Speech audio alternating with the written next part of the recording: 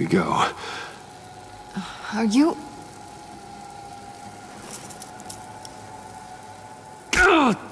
Oh, I hate having to do that.